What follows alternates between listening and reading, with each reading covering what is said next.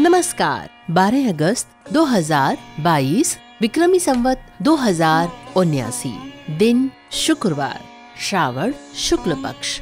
आज अंतर्राष्ट्रीय युवा दिवस है।